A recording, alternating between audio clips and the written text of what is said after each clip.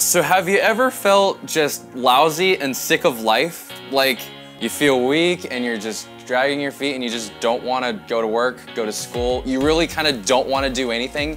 You don't want to read your Bible. You don't want to pray. Even though it's the right thing to do, you just don't want to do it. And so John helps us out with this. Let's read.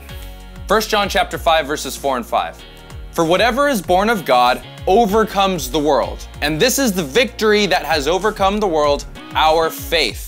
Who is he who overcomes the world but he who believes that Jesus is the Son of God?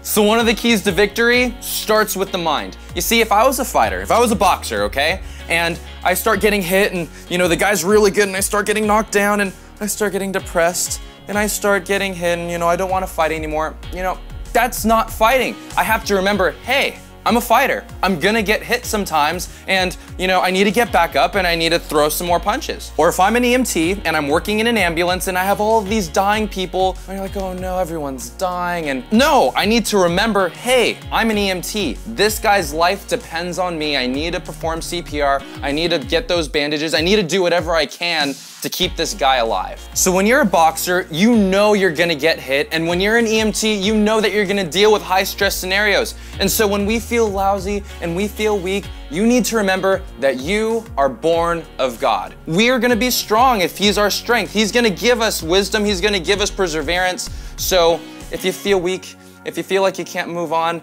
just keep going, all right? Trust God. Know that you that God loves you, okay? You mean the world to God and he wants you to keep trying and he's only trying to test your faith to get you stronger. Okay? So I hope this helps out and God bless. So don't forget to like and subscribe and um, leave a comment. We'd love to get your feedback and um, have a good one, guys.